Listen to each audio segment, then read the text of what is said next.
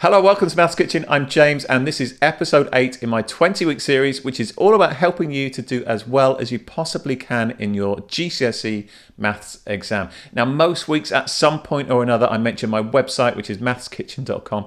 This week, that is going to be the sole focus of the video. I'm going to talk you through the website from start to finish, show you all the features on there and the ways that you can use it to maximum effect. So if this is your first visit to the site, the first thing you're going to want to do is to carry out an assessment. So you click on there and then enter your information here. So let's say that I'm a year 11, I'm doing the foundation tier, I'm hoping for a grade 5. And if you've recently done a mock, you can put the grade in there. That's really helpful if you've got that.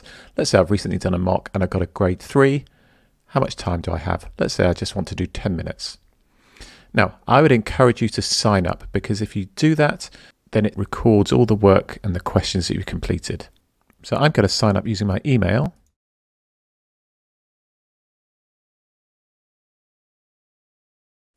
So you'll get a number of questions to work through. I'm going to quickly go through these. Now, if you're stuck on a question, it's fine to say you don't know, and it will just move you on to the next question. Other questions, you'll be offered help if you don't know, and you can choose to look at the solution there.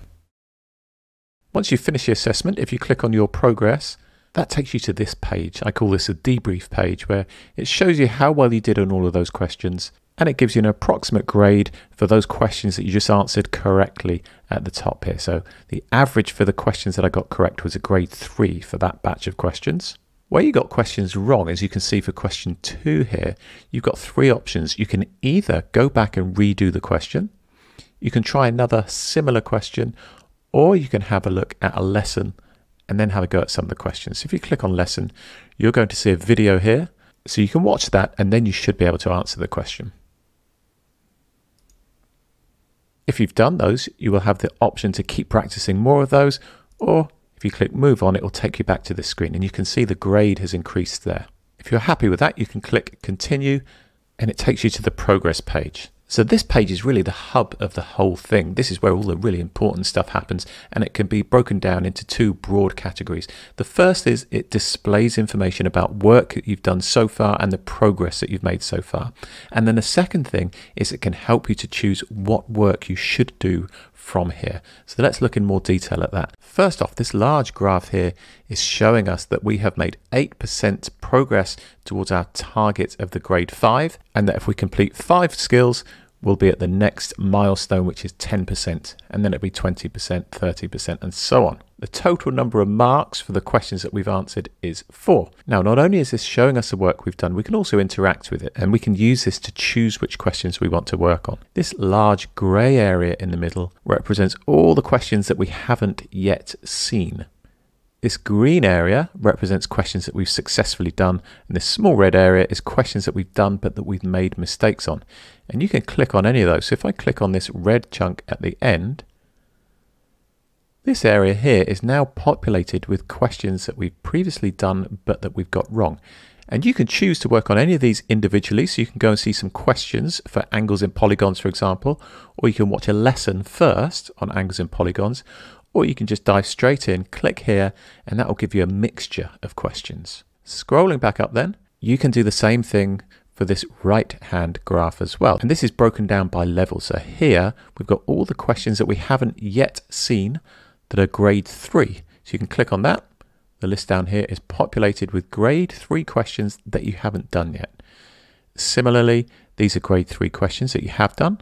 And you can click on that and you can go and do some of those again if you like. Or what else have we got? So here, grade four questions that you've done but made mistakes on. There's only that one, angles in polygons. So you can choose what work you want to do based on those criteria, but you can let us make all of those decisions for you.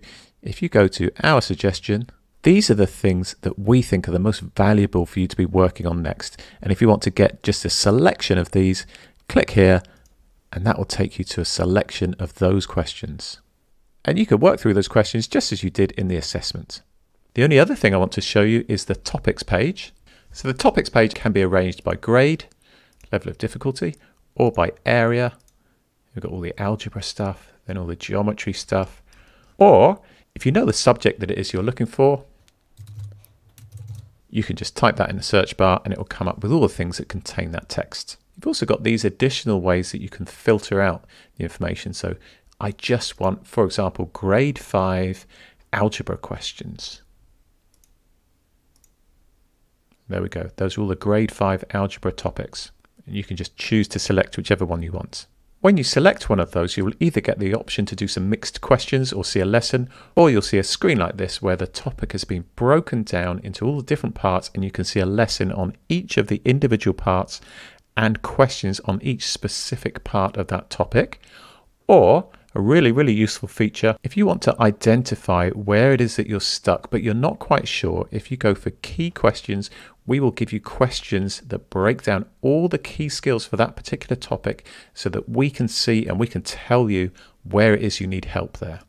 So if you're ever on the site, you're not sure what to do, you have two options. You can either just go back to the progress page and you can follow our suggestions here or choose your own from either of the graphs or if you're on the home page, just click on daily workout. That's going to give you the same questions that we would deliver from the progress page.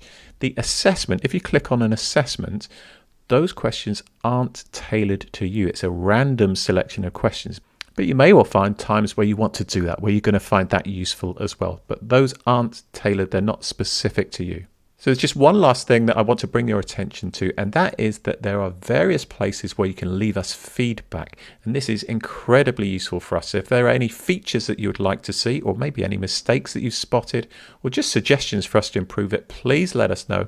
You can leave that feedback there. And if you'd like us to get back to you, enter your email and we will reply to that. So that's how you can use the site to help you prepare for your exam. Now, if you're watching this around about the time when I'm releasing it, which is February 2020, as long as you are signed up for the site now, it will remain free all the way through to your exam. If you're watching this video a bit later on, then some of the features that I've mentioned today will be part of the premium service, um, which you will have to pay for. But there will still be plenty of free stuff that you can use, so do still check it out.